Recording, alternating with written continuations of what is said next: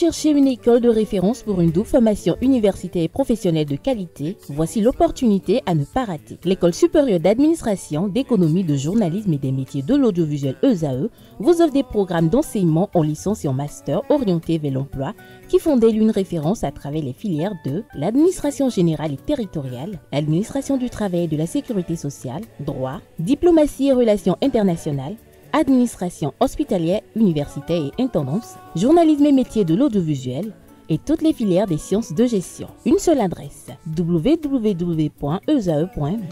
Rendez-vous dès maintenant sur nos campus ESAE Bedromende au numéro 90 93 65 21 ou au numéro 98 98 14 00. Paracourt sur le numéro 52 46 12 12.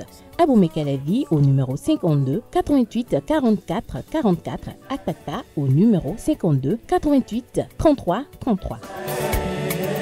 ESAE, l'excellence à un nom. Bonjour à nouveau, chers amis internautes. Nous démarrons la une des journaux comme il est de coutume par le quotidien Maison, le quotidien béninois d'information générale et d'analyse l'informateur qui ce matin en manchette nous propose décentralisation, une nouvelle ère pour les communes. Le canal nous fait savoir qu'une série de mesures visant à créer un cadre administratif et institutionnel pour un développement équilibré des communes entre 2025 et 2027. Ainsi, le gouvernement de la rupture entend booster le développement des collectivités locales ouvrant ainsi une nouvelle ère pour la décentralisation en République du Bénin. Retrouvez des précisions à la page 3 de sa parution de ce matin. On peut lire également à la une de l'informateur de ce matin, relecture consensuelle du code électoral, ce que suggèrent les confessions religieuses vous sont exposées à la page 6. Pour non-respect de la réglementation, six universités privées fermées au Bénin. Journée de partage et d'appropriation des résultats des recherches et d'innovation ODD et entrepreneuriat au cœur des échanges à Djougou. Retrouvez des précisions sur cette assise importante dans les colonnes de l'apparition de ce matin de l'informateur. L'oreille droite de la une de l'informateur, comme à chaque parution d'ailleurs, vous invite à découvrir dans les colonnes de sa parution les productions journalistiques des étudiants en formation sur les différents campus de l'ESAE, l'école supérieure d'administration, d'économie, de journalisme et des métiers de l'audiovisuel qui a ses campus dans les villes de Cotonou, d'Abomey-Calavi et de Parakou. Le quotidien national d'information nous titre ce matin manchette Résilience économique. La notation du Bénin maintenue à B1. L'agence de notation américaine Moody's a confirmé sa notation souveraine B1 avec une perspective stable pour le Bénin. Cette décision témoigne de la résilience et du dynamisme de l'économie béninoise à un moment où, de nombreux pays sont confrontés à des défis économiques considérable. On peut lire également à la une du quotidien national d'information de ce matin, haute autorité de l'audiovisuel et de la communication AC 7e mandature. La 7e mandature s'approprie les tests. Retrouvez des détails sur les assises en cours à Bohicon dans les colonnes de la page de ce matin du journal Fraternité à présent parle de social, d'environnement, de tourisme et de culture. Les enjeux prioritaires vous sont exposés aux pages 2 3. Audience à la Cour constitutionnelle. La relecture du code électoral au menu nous apprend la une de ce matin de fraternité. Le matinal, quant à lui, parle d'interdiction d'exportation de produits vivriers pour prévenir l'insécurité alimentaire. Le Ghana sur les traces du Bénin. Le Ghana fait savoir que face à la flambée des prix de certains produits de grande consommation, le gouvernement du Bénin avait pris en sa séance hebdomadaire du 8 mai 2024 la décision d'interdire l'exportation informelle de certains produits vivriers, en l'occurrence le maïs, en direction des pays voisins.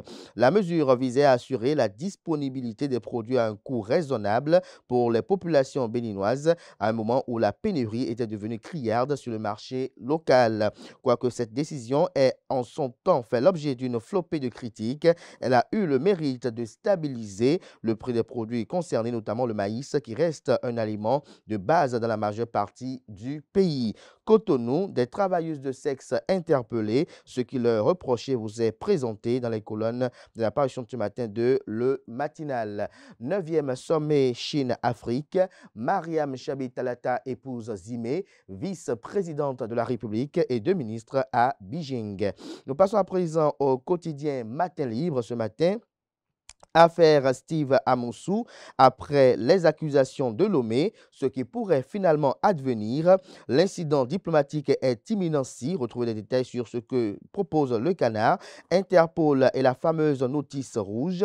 Le Togo nous donne une leçon de procédure. Lire l'analyse du juriste Fréjus Atindoglo dans les colonnes de la page du matin du canard. Retrouvez des précisions à la page 2. Sous-emploi et rouillé vers les concours faible taux de chômage, l'arbre qui cache la forêt. Le Béninois libéré à présent pour réussir en entrepreneuriat, le ministre d'État Aboulay Biochane, également président du parti politique Bloc républicain, partage les sept piliers fondamentaux avec les jeunes. On peut lire également à la une de Le Béninois libéré de ce matin, confirmation de sa note souveraine par l'agence de notation Moody's. Le Bénin maintient sa note B1 avec perspective stable. L'économiste à présent, accès au logement en Afrique de l'Ouest, la CRH UMOA enregistre des progrès remarquables. On lit également à la une du premier quotidien économique du Bénin de ce matin Notation financière, Moody's confirme la note souveraine, autant pour moi, Moody's confirme la note souveraine du Bénin à B1 avec perspective stable. On découvre à présent la une du quotidien d'Abarou qui titre ce matin sa une, incarcération de Steve Amoussou au Bénin, Candide Armand-Marie Azanaï demande sa libération sans condition. Nous restons toujours à la une de Dabarou de ce matin pour leur contribution à l'émancipation de la culture. Ekaro Ejire L'association Adjoshi Omo Yoruba honore plusieurs personnalités. Retrouvez le point des festivités de ce week-end, notamment à Porto Novo, à la page 6 de la livraison de ce matin du journal, qui nous informe, comme bien d'autres parutions de ce matin, que pour mieux accomplir leur mission au sein la haute autorité de l'audiovisuel et de la communication avec 7e mandature, les conseillers nouvellement élus et nommés s'approprient des tests de l'institution. Ce sera tout pour la une des journaux. Merci de votre attention. Place à présent au bulletin matinal d'information et à la page des sports.